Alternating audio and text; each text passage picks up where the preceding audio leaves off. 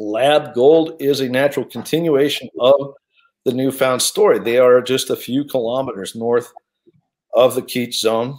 Uh, they have their own target, the big vein target, where recently they announced some very high grades. They also got a huge pile of cash now. I think they have something like 40 million bucks.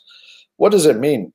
It means uh, they are going to go pell mell here. They have decided to increase the number of drills to four rigs and made a commitment to drill 50,000 meters at Kingsway. I see this as a start, guys. Uh, they've already hit, like I showed in the photo, they've hit the same quartz with little particles of gold, just like you see down at, at Newfound. It's the same system. There's no question.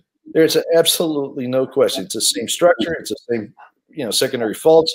Da da da da da da da. It's the same stuff. All right if you don't get that, I don't know what else to do for you. But Lab is doing the right thing. They're going more aggressive, and I think they'll do wonderful.